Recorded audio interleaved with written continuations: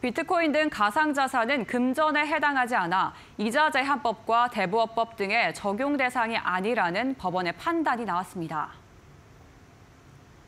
서울중앙지법은 비트코인 취급업체 A사가 B사를 상대로 청구한 가상자산 청구 소송 1심에서 지난달 30일 원고 일부 승소로 판결했습니다. B사는 지난 2020년 10월 A사로부터 개당 2,654만 원 상당의 비트코인 대여 계약을 체결했지만 이후 이율이 월 10%까지 높아져도 B사는 A사에 비트코인을 돌려주지 않았습니다.